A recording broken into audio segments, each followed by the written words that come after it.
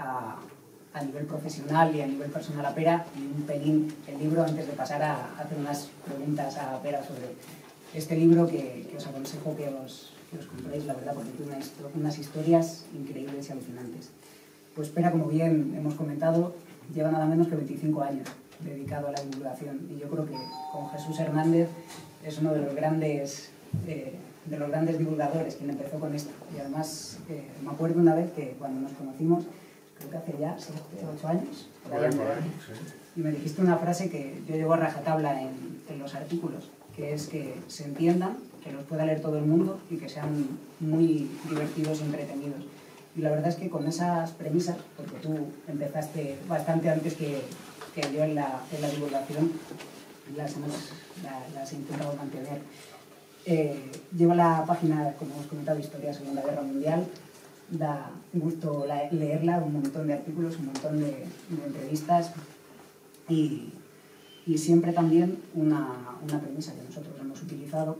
que es utilizar las, usar las anécdotas como forma de acercar la gran historia al, al público, ¿no?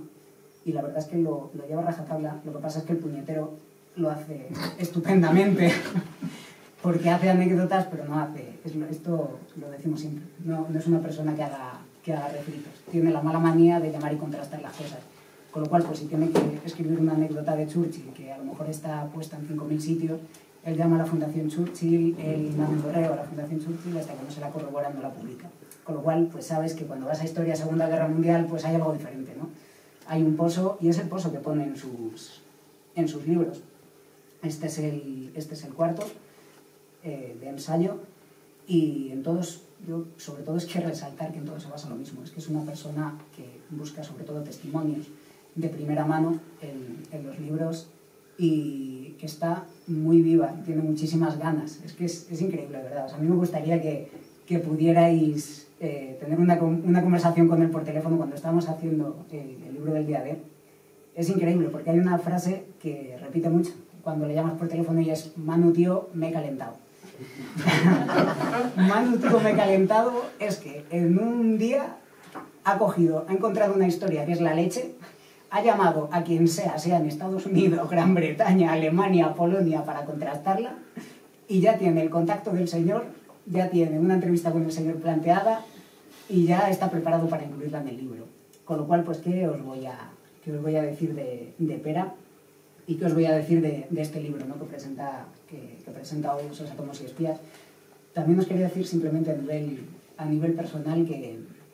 eh, después de, bueno, hemos comentado también, por supuesto, que ya lo hemos leído, que pertenece al Club Le Carré, a Leo Muere, hace colaboraciones en Historia, hace colaboraciones en Historia Hoy, hace colaboraciones en, en COPE. Yo creo que, como bien hemos comentado antes, la habréis escuchado o leído bastante. Y a nivel personal, uso una, para definirle también, ya digo que yo soy muy, muy madrileño, he elegido al, al tío más, más llano para hacerle la presentación. Yo uso una frase de, de mi madre para definirle que es, me, me, la dice mucho, trata bien a Pere y no le enfades que es muy buen tío.